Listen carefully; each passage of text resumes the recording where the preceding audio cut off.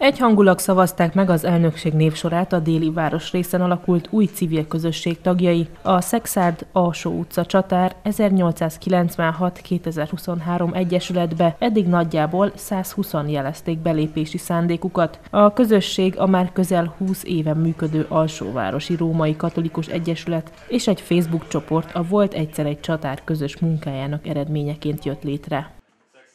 A csatár az tulajdonképpen a város szélén egy falu volt, ahol egy nagyon jó közösség élet zajlott, és hát tulajdonképpen, mint minden falunak, itt meg volt a bolt, volt a szódás, iskola volt. Az iskolában két hetente vasárnap mise volt.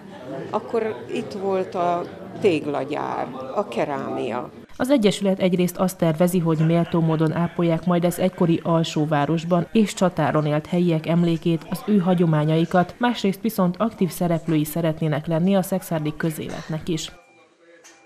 Történelmi múlt megismerésével együtt lehetne azért olyan programokat szervezni, ami a közösséget kimozdítaná, akár a lakásaikból, vagy akár érzelmileg, élményanyag szempontjából. Így gondolhatunk akár közös kirándulásokra, dalestekre, irodalmi estekre, vagy érdeklődési körnek megfelelően lehet ezeket a programokat összeállítani.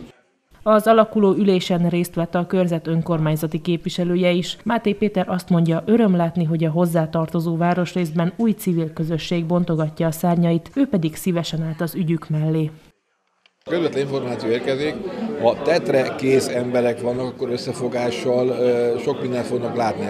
A Szexárd Alsó utca csatár 1896-2023 egyesület tagjai mindenkit szívesen láttak maguk között, aki úgy érzi, érdekli a település rész múltja, vagy tenne annak jövőjéért.